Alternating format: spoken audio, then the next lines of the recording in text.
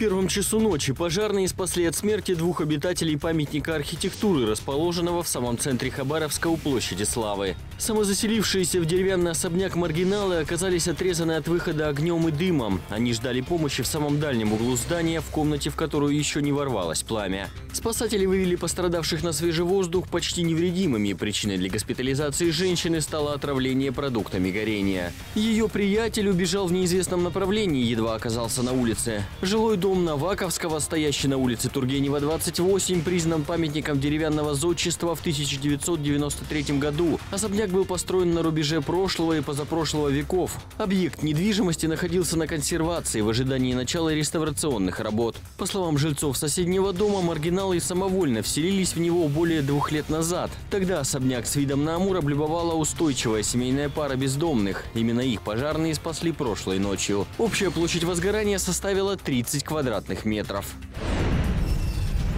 На улице Павла Морозова в результате столкновения двух иномарок травмы получила 24-летняя девушка. Она управляла Honda Fit, которая двигалась по Павла Морозова со стороны Шевчука. В качестве пассажиров в машине находились ее сестра и парень. Девушка-водитель намеревалась с левым поворотом выехать на автомобильную развязку, ведущую на проспект. Получается, по вот этой улице хотели завернуть налево и вернуться на второй Хабаровск. Вот этот автомобиль пролетел на красный, съемка видеорегистратора у меня есть.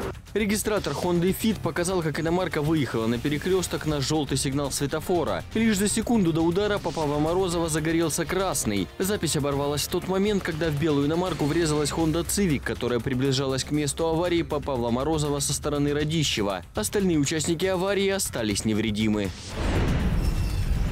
На перекрестке улиц Ленина и Широнова столкнулись две иномарки. Оба водителя были уверены в своей правоте, правда доказывали ее весьма своеобразно. По словам водителя Ниссана АД, который ехал по Широнова со стороны бульвара, сигналы на светофоре в его сторону менялись так быстро, что он не видел смысла притормаживать перед перекрестком. Для вас какой сигнал светофора? Красно-желтый и загорелся в это время, когда я начал пересекать зеленый. Даже ну, как бы не останавливался. Вот видите, красно-желтый, сразу зеленый. Я не стал останавливаться, потому что мне бы сразу загорелся. Я поехал, они оттуда решили на желтый мигающий, они говорят, проскочить. Дама, которая управляла Тойотой Калдина, ехала по Ленина в сторону площади Блюхера. Она утверждает, что зеленый сигнал горел для нее. Даже готова была предоставить запись видеорегистратора. Но оказалось, что после столкновения электронный фиксатор дал сбой, в результате которого файл в нем оказался нечитаемым.